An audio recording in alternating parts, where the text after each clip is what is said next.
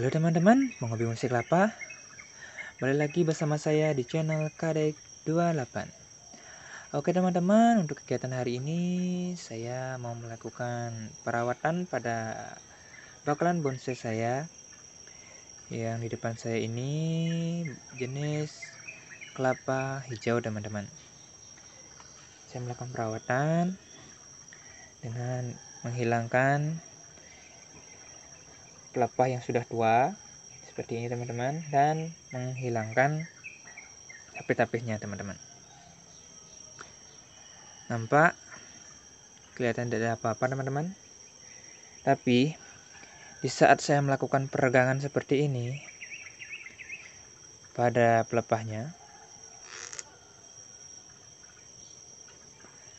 terjadi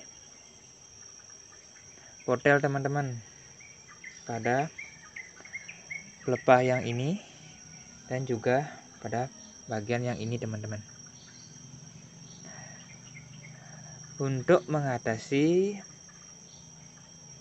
permasalahan seperti ini teman-teman ini karena kalau biasanya yang ininya tidak potel yang ini potel masih bisa teman-teman. Tapi karena yang ini juga ininya terpotel terpaksa harus menghilangkan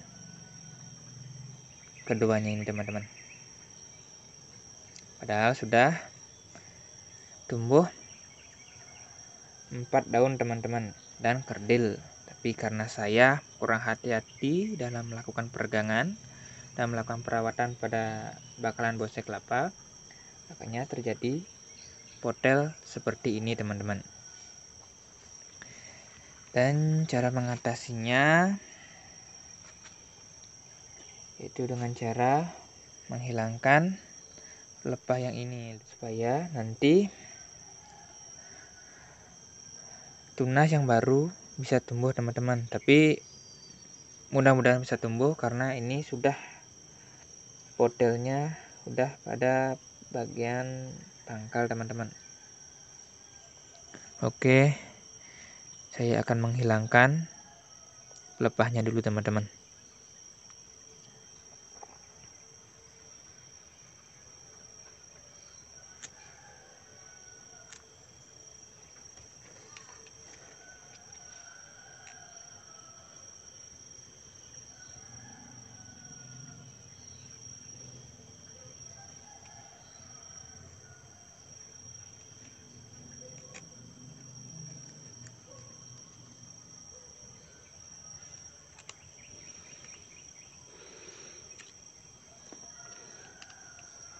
ini teman-teman yang terpodal pada bagian dalam.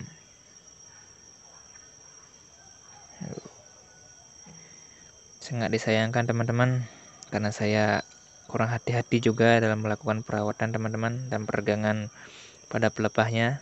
Jadinya potel teman-teman. Uh. Seperti ini teman-teman. Terpotel Oke teman-teman, setelah selesai melakukan penebasan itu atau menghilangkan daun yang terpedal tadi, inilah apa namanya hasil di dalamnya ini teman-teman. Kelihatan yang terpotelnya seperti ini. Bisa dilihat. Seperti itu teman-teman. Nampaknya sih masih bisa tumbuh tunas yang baru teman-teman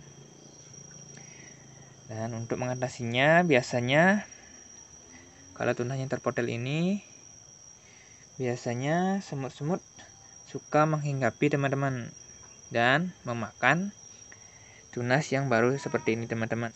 Makanya untuk itu untuk mengatasi agar semut tidak memakan tunas ini jika dimakan akan terjadi pembusukan pada tunanya teman-teman akan membuat Bakalan bonsai kelapa ini akan menjadi gagal tumbuh dan mati teman-teman. Dan untuk itu saya mempersiapkan wadah seperti ini teman-teman, ember.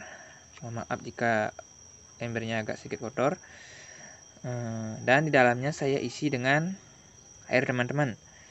Gunanya agar semut tidak dapat eh, melewati atau hinggap pada tunasnya ini teman-teman. Dan saya taruh seperti ini. Ini menggunakan kebetulan saya menggunakan uh, tempat cat teman-teman. Dan di sini nggak bolong teman-teman. Taruh seperti ini.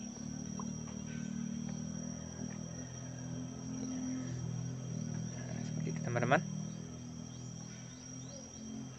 itu gunanya air itu untuk menghalangi pergerakan semut untuk dapat menjangkau tunas yang ini teman-teman. Bisa lihat teman-teman? Seperti itu. Oke lah teman-teman. Saya rasa sekian dulu video dari saya semoga bermanfaat bagi teman-teman yang mengalami atau mengalami kejadian seperti ini teman-teman. Mempunyai bonsai kelapa yang sudah jadi atau bakalan bonsai kelapa di saat melakukan perawatan pada bonsai kelapa terjadi botol seperti ini teman-teman. Oke teman-teman semoga bermanfaat. Dan bagi yang sudah menonton atau sudah mendukung channel ini, saya ucapkan banyak-banyak terima kasih dan mohon maaf jika ada kesalahan dalam pembuatan video atau kata-kata. Dan jangan lupa teman-teman bantu channel ini dengan cara mengklik tombol subscribe, like dan share ke teman-teman kalian dan aktifkan tombol loncengnya agar tidak ketinggalan notifikasi video yang terbaru dari saya. Karena dengan bantuan teman-teman, channel ini dapat lebih berkembang lagi dan saya lebih semangat lagi membuat video-video yang terbaru dan lebih banyak lagi teman-teman. Oke teman-teman sekian dulu. Salam satu hobi